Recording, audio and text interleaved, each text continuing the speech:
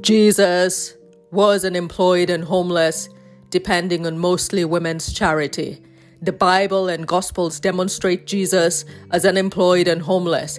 His adoptive father, Joseph, was a carpenter, and there has been the assumption that Jesus was therefore a carpenter. However, the Bible and Gospels clearly show that his unemployment and homelessness lasted the entirety of his public ministry. He left the economic security he had as an artisan with Joseph and wandered Judea depending on charity. Many of the people whom he depended for charity were women. Because his ministry took place in the hometowns of his disciples, it is likely that the group usually slept at the homes of the disciples' family members. Of the four evangelists, Luke emphasizes Jesus' homelessness the most.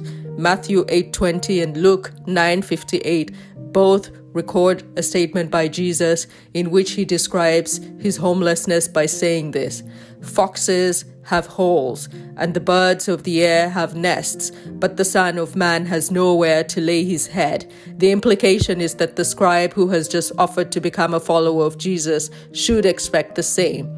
Theologian John Gill noted a parallel between this saying and the Jews' expectation of the Messiah. If he, the Messiah, should come, there is no place in which he can sit down. Sophiologists interpreted Jesus' homelessness as the homelessness of Sophia. New monastic writer Shane Claiborne refers to Jesus as the homeless rabbi. In a book length study of the Gospel of Matthew, Robert J. Myles has argued that the homelessness of Jesus is often romanticized in biblical interpretation in a way that obscures the destitution and lack of agency that would have likely accompanied the situation. Canadian sculptor Tim Schmalz created Jesus the Homeless, a 2013 bronze sculpture of Jesus lying on a park bench, covered in a blanket with his wounded feet protruding.